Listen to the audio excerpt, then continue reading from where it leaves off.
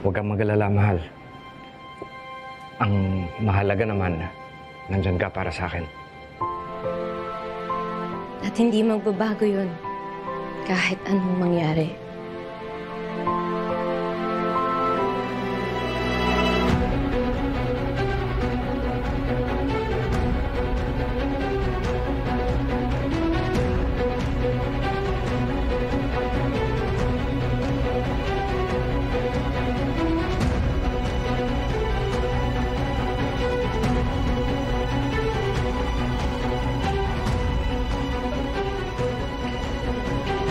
Si Melinda.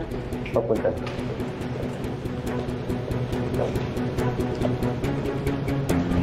Anong ginagawa niyo dito?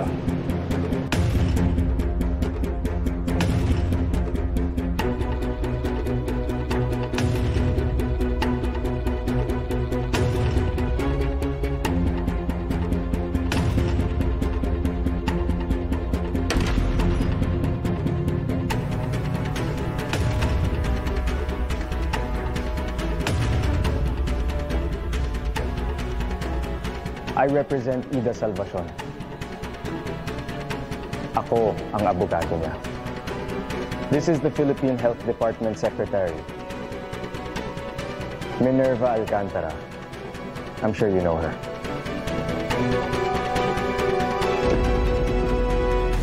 Philip, anong nangyayari?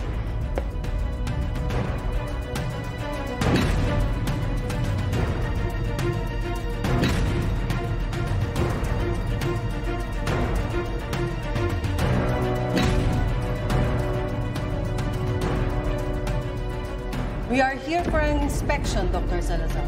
It has come to our attention na nami-mismanage ang ospital na ito. And there are cases of malpractice. It is now a matter of public safety na jurisdiction ng departamento.